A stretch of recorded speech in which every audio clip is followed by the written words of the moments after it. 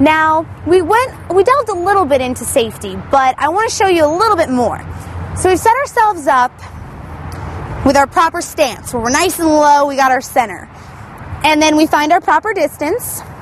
Okay, so now what I'm going to do is I'm going to set up to do a basic right cross punch. Now, we have to make sure that we find our illusionary target and our actual target. Now, my illusionary target right now is to hit her right across the jaw, just smack. But I'm not actually going to do that because that would hurt. So what I'm going to do is my actual target is going to be right over here, about three to six inches away from her face, so that it's safe. we, want, we want to keep it pretty. so what we're going to do is I want to give a nice big cue, and then I come right across here. You'll notice that I'm nowhere near her face. Nowhere near. All right?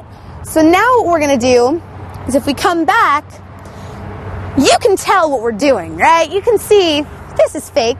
I'm not hitting her. But this is where angles come in.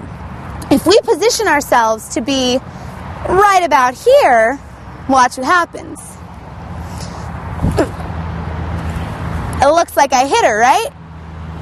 Uh, sorry, you know, I had to. So we want to make sure that we set up our angle and our targeting, and once those pieces come together, you can get a hit that looks really cool. Now, we want to make sure also, when you're targeting, from an audience perspective, if I really aim right here, it might look a little low, especially if we position ourselves where she's over here and I'm coming from behind. You'll notice that if I hit this way, it looks like I kind of hit her in her chest, which is a little awkward. Probably wouldn't cause her much pain, right?